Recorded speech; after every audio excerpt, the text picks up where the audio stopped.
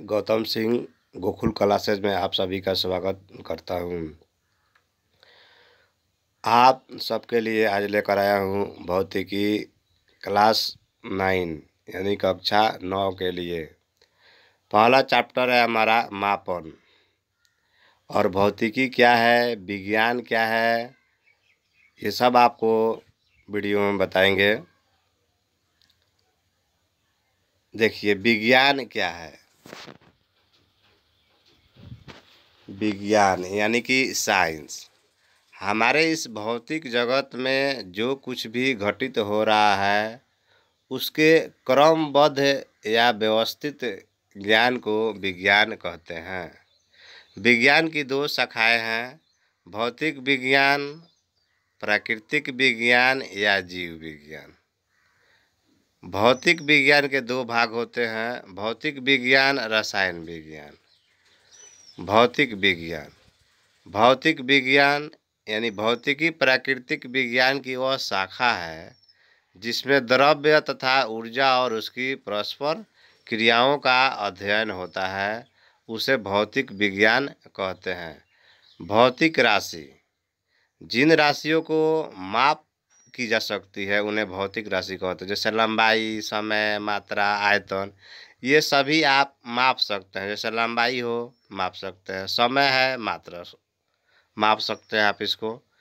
अभौतिक राशियाँ हैं। जिन राशियों की माप नहीं की जा सकती है, उन्हें अभौतिक राशियाँ कहते हैं। जैसे प्यार है गुस्सा है, नफरत है, दुलार है।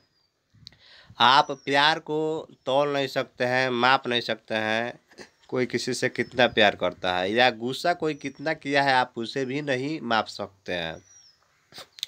कोई नफरत किसी से कितना किया है, ये भी आप नहीं माप सकते हैं। तो यह सब जो है, आपको अभौतिक राशियाँ हैं। भौतिक राशियाँ दो प्रकार की होती है। मूल राशियाँ, व्युत्पन्न राशियाँ, मूल राशियाँ। मूल राशियाँ, जो स्वतंत्र राशियाँ होती है, उसे मूल राशियाँ कहते हैं।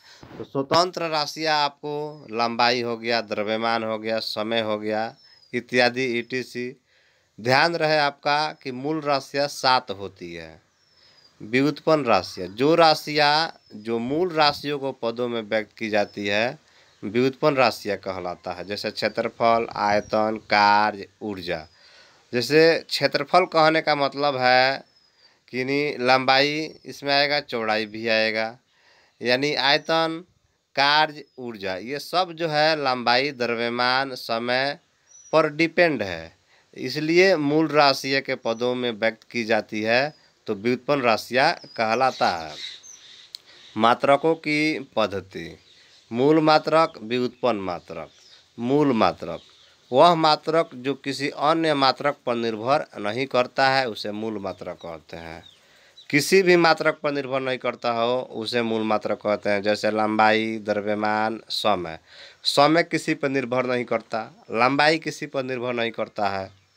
व्युत्पन्न राशियाँ वह मात्रक जो मूल मात्रक पर निर्भर करता है। ये मूल मात्रक पर निर्भर करता है व्युत्पन्न मात्रक। इसीलिए मूल मात्रकों की सहायता से व्यक्त किया जाता है तो व्युत्पन्न मात्रक कहते हैं। जैसे बल, त्वरण ऊर्जा, ये सब क्या है? व्युत्पन्न मात्रक है। विश्व में मूल मात्रकों की कई पद्धतियाँ प्रचलित थी।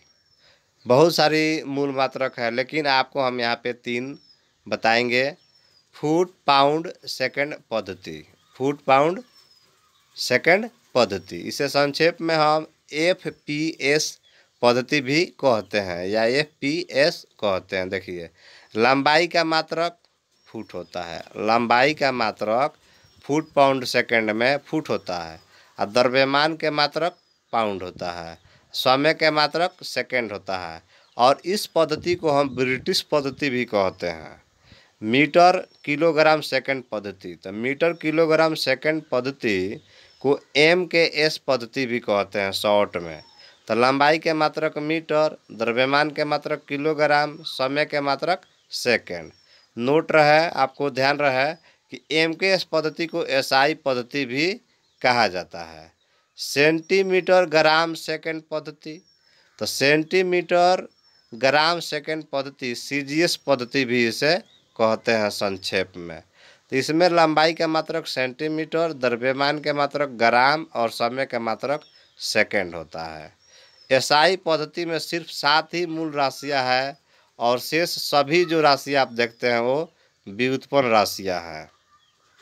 व्युत्पन्न राशियाँ। सॉरी, उत्पन्न लिखा गया, लेकिन आप व्युत्पन्न राशियाँ यहाँ कहते हैं। इस पद्धति में सात मूल मात्रक तथा दो संपूरक मात्रक है। यानी कि सात मूल मात्रक होते हैं, दो संपूरक मात्रक भी होते हैं। देखिए, लंबाई का एसआई मात्रक जो है, मीटर होता है। लंबाई का मात्रक मीटर होता है, इसे एम से सूचित करते हैं। द्रव्यमान के मात्रक किलोग्राम होता है, इसे केजी से सूचित करते हैं। समय का मात्रक सेकंड होता है, इसे सेकंड से सूचित, यानी कि एस से सूचित करते हैं। विद्युत धारा, इलेक्ट्रिक करंट, यानी इसका मात्रक एम्पियर होता है, इसे ए से सूचित करते हैं।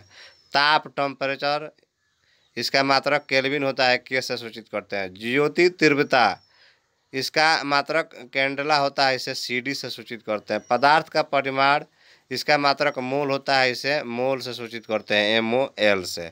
एसआई के संपूरक मात्रक संपूरक मात्रक दो ही होता है। समतल कोण, यानी प्लेन एंगल, इसका मात्रक रेडियन होता है, इसे आर ए डी से सूचित करते हैं। ठोस कोण, सॉलिड एंगल, इसका मात्रक एस्ट्रेडियन होता है, इसे एस आर से सूचित करते हैं। थैंक यू दोस्तों। नेक्स्ट वीडियो में आपको बताएँगे हम गति चैप्टर दूसरा नंबर। इसलिए आप जो है वीडियो को लाइक शेयर एंड सब्सक्राइब ज़रूर करें। धन्यवाद।